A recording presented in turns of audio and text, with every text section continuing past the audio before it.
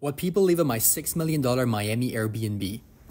This one is wild because look at this. There's White Claws and a Gucci purse here, Chanel sunglasses, these Valentino slippers, an iPhone charger, and then outside there was a jeans jacket and another pair of Gucci slides.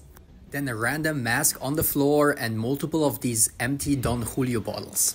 And there were two rooms where someone had vomited on the bed.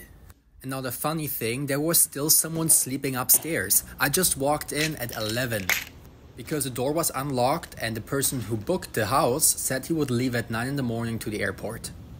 But they were very nice and they even told me that they accidentally broke this bunny in the evening.